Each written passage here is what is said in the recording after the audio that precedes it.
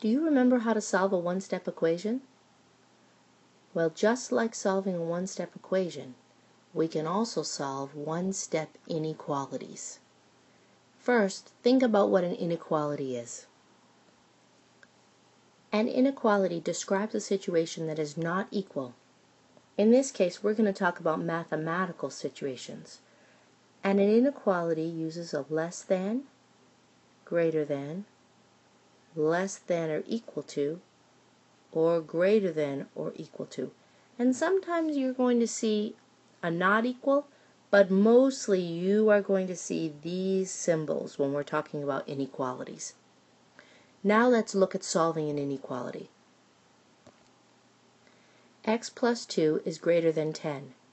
We want to figure out all the possible numbers that would work for x and if we substituted them into this inequality for x, would make this a true statement. To do this, we need to get x alone. Just like we use the inverse operation when solving one-step equations, we're going to do that with this inequality. We're going to use the inverse of addition, which is subtraction, and we're going to subtract 2 from both sides of this equation. We bring down the x. x is greater than 8. So any value that's greater than 8 will work for this inequality and make it a true statement. This is solving the inequality. Let's do another one. y minus 6 is less than or equal to negative 4. Now again, we're going to use the inverse operation to get y alone. We're going to add 6 to both sides of this equation. Inequality. These cancel. We bring down the y. y is less than or equal negative 4 plus 6 is 2. y is less than or equal to 2. Again, we've solved this inequality. Here's another one.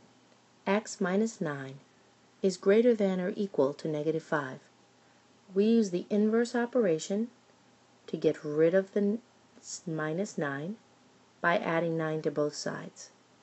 Bring down the x, these cancel. x is greater than or equal to 4.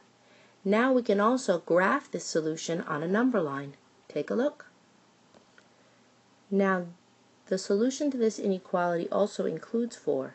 So I'm going to put 1, 2, 3, 4.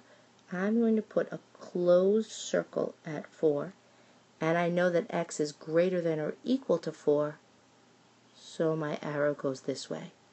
Now I've graphed the solution to this inequality as well as solved it. x plus 5 is less than negative 2. Let's start by solving the inequality. We use the inverse of addition, subtraction. We subtract 5 from both sides. These cancel. x is less than negative 7. Now, let's graph the solution on a number line. First, notice that negative 7 is not part of the solution set. This symbol does not have an equals to underneath it, so I need to put an open circle at negative 7. This shows that negative 7 is not part of the solution set. And then everything less than that is. So I draw my arrow going to the left to show that all the values less than negative 7 will work as a solution for this inequality.